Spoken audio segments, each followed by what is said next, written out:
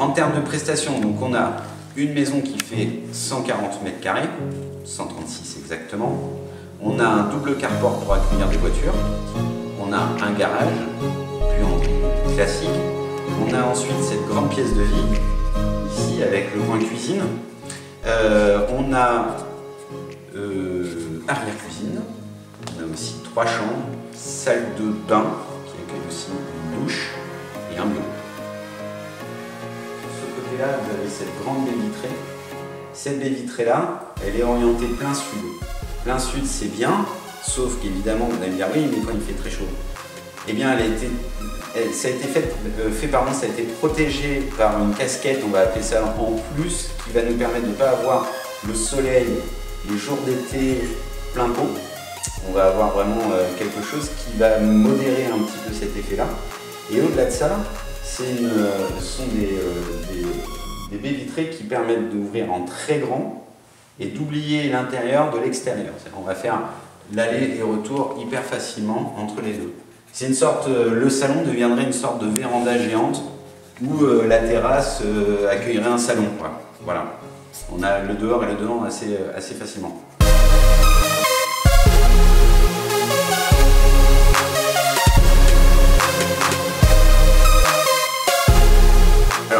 Sur une construction dite RT 2012 donc qui, est la suite des constructions qu'on appelait BBC.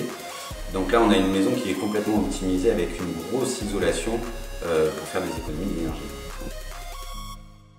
Donc là, en grosso modo, il faudrait voir avec les augmentations euh, actuelles de l'électricité, mais on doit pouvoir s'en sortir avec 120-130 euros par mois pour chauffer et utiliser l'électricité sur l'ensemble de la maison.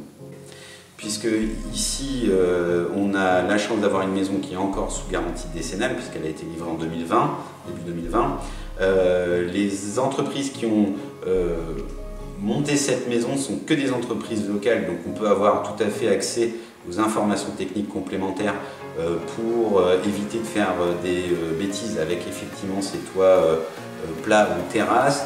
Après, il faut s'entendre. Est-ce que si on veut utiliser la possibilité de, ce toit en purement terrasse, en d'agrément, il faudra quand même y mettre des garde-corps, des choses comme ça, et euh, voir à l'usure à ne pas abîmer les géotextiles qui euh, permettent l'étanchéité. Donc pas de bêtises dessus, on ne va pas euh, monter une piscine ou faire voilà,